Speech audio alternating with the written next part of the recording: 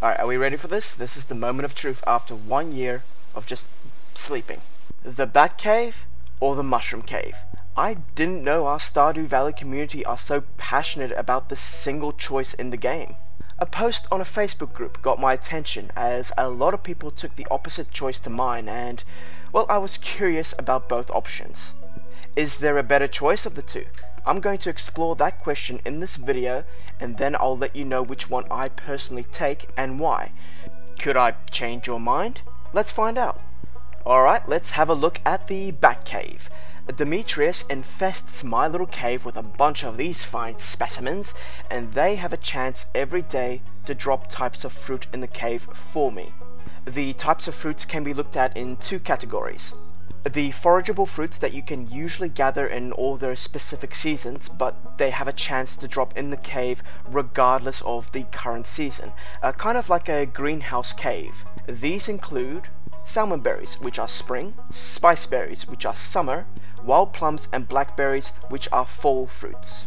The other type are tree fruits, and they are also season specific outside this cave, and they only grow on trees, which are expensive and they take a very long time to get going. The tree needs an initial 28 days to grow and then produce fruit. Cherry and apricots, which are spring trees. Orange and peaches, which are a summer tree. And finally, we have the apple and the pomegranate, which are fall trees. For this analysis, I'll have both types of caves and I'll look at them for a full month and then determine what I get at the end, what rate things spawn, and then how useful these items are to us. Let's check the first day after I've set up the Bat Cave. Oh wow, this is a bounty! I didn't expect this much on the first day. There's some fruits from all the seasons here. And an orange as well, that is the most worthwhile fruit here. Uh, luck could have something to do with it yeah, the first day I had good luck. Okay, no worries. Uh, now on to the next day. Oh, would you look at that? It gave me a forage level as well. I'm going to take the gatherer here as it'll help pick up more fruit. And yes folks, picking up these items in this cave helps your foraging skill. Day 2, I find a single spice berry, and today's luck was neutral.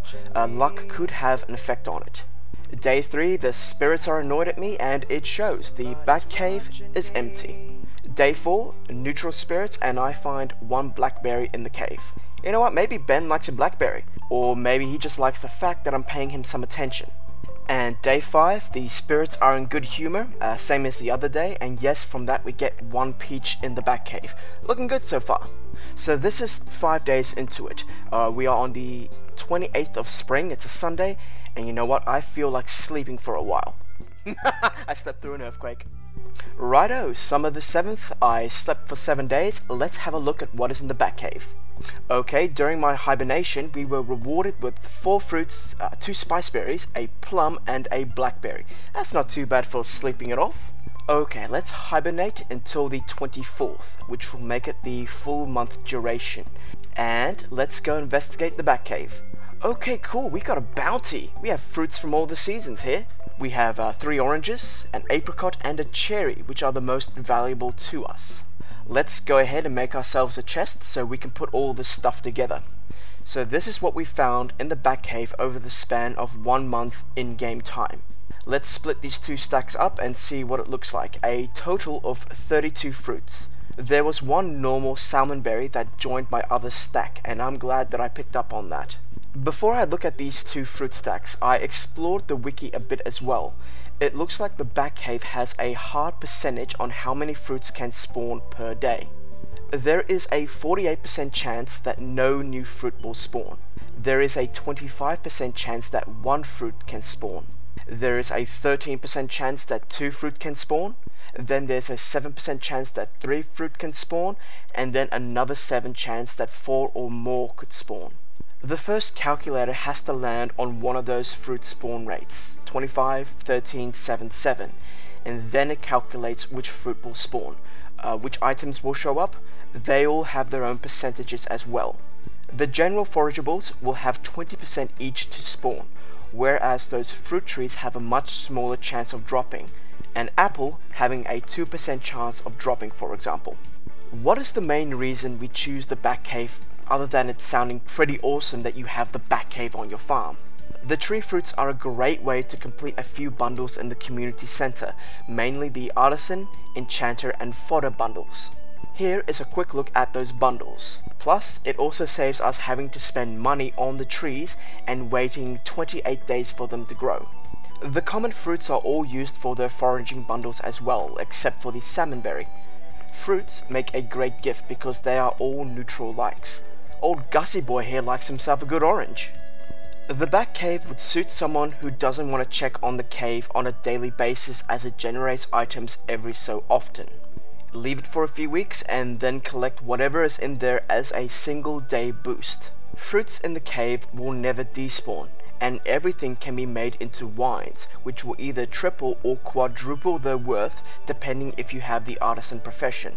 How much is this lot worth? I will multiply these assuming I make them into wines. The quality here will not matter, the wines increase the base price of these items by either 3 or 4 times.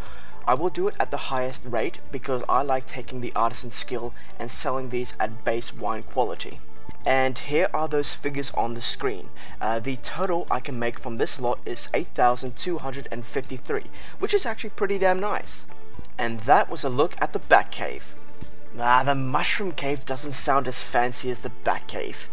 It looks slightly different. Demetrius fills it with 6 mushroom boxes. I already have a save file with this one already, so because the Bat Cave started with nothing, let's grab what's in here now and start the month from tomorrow, which will be the 9th.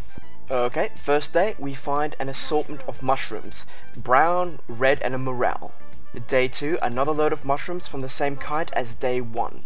I thought these take a bit longer to spawn. It is the first thing I do in the morning. I have a routine here which is literally run to the cave every morning, sleep, and repeat. I'm not checking the luck in this section, as it does not affect the outcome. I could be wrong, but it doesn't really matter as I'm doing it for 28 days. Also, all the mushrooms will be regular quality, and you can't get experience from gathering these. Day 3 is another load of brown mushrooms and one purple one. Nice. Day 4 is 1 red and 5 brown and day 5 is the same as yesterday. It actually looks like we're getting something from this on a daily basis, which kind of makes this a problem. I need to check these boxes every day if I'm going to continue getting value out of this. And I'm going to fast forward this collecting sequence until the 9th next month. It's not like the Bat Cave where there is still a chance of something spawning every day regardless if you do not collect. Whatever spawns will stay like this until you gather them if you don't gather the mushrooms, it counts against you. And here we are on the final day. I've kept the mushrooms for a full 28 days and this is the stack we have, 177 mushrooms in total. I was confused at the frequency of these, so I also sat idle for a whole day, slept and then went back in the morning and yes, they are still there. The trick is, I guess, set yourself a time where you collect these every day. Make it a routine. Here we have an overview of all the mushrooms we can get in this cave. All these mushrooms are used in community center bundles as well, main ones being the dye and the exotic bundles. Mushrooms can be more common than the fruits in the Bat Cave if the player makes an effort to collect them every day. They don't make great gifts, except for the wizard, as he loves his purple shrooms. They all have the percentages of spawning as well but the spawn rate for these are better than the Bat Cave, seeing as if you make a routine, you'll get a daily supply of mushrooms. The Bat Cave needs to meet the first criteria of being able to spawn something. As mushrooms are a reliable source, they can be a great supply of food if you're going to the mines and if you make the point of checking these daily. If you're not paying much attention to these, then it becomes less valuable to you. A brown mushroom is worth 38 energy, and if we multiply that by 123, we get 4674 energy from these mushrooms alone. And they also heal 17 HP per shroom. This cave is also the best method to make the life elixir on a regular basis. Great item for the mines as well. A month of mushrooms sells for 11,145, which is also quite nice. So, what cave would I take? Now before I say this, I'll state the fact that I'm a type of player who likes to maximize everything and get as much done as quickly as possible, doing achievements, that sort of thing. Now with that in mind, I will always take the Mushroom Cave, and this has been my choice before as well. I've even made it in my 25 random tips video, which I will link at the end. For me, the Mushroom Cave is a more reliable source of energy. Both caves can be used to complete bundles in the community center. The tree fruits are helpful for the artisan bundle, I agree, but you have a choice of 6 items out of a list of 12 to donate, and my playstyle involves animals. I don't need the fruits for that bundle. Now I would argue that the Enchanter and the Fodder Bundle fruits are the only two you actually need to complete the community center, and they are the apple and the pomegranate trees. I don't struggle with the Artisan Bundle, as the pantry builds itself up towards that final bundle.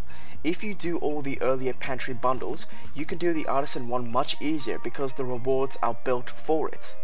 I have a mini community center series where I cover a one year challenge and if you're interested in seeing my approach to the community center, follow the links at the end of this video and you'll see that playlist. Of course, I am a certain type of player, and my playing style doesn't suit everyone. I absolutely agree. If you're the player who doesn't care much for making that routine to the cave daily, then yes, the Bat Cave is the better option for you.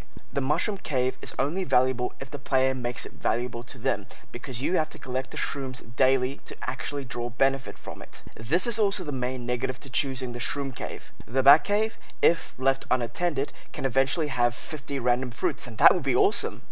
I would actually like to see that one day. You know what, let's do it. Rightio, I have slept for an entire year. As you can see, I'm, yeah, look at this mess. and I've got to try and get through this, okay? Good lord. Eh. I shall make it, people. I shall definitely make it, and here we have an owl statue. Alright, are we ready for this? This is the moment of truth after one year of just sleeping. oh, that is great. Look at that, people. Let's see how many we can get here. Good lord almighty. So my question to you is, what kind of player are you? Let me know if you're a batter or a shroomer. Anyways, that wraps it up for this video, people. Cheers, peace out.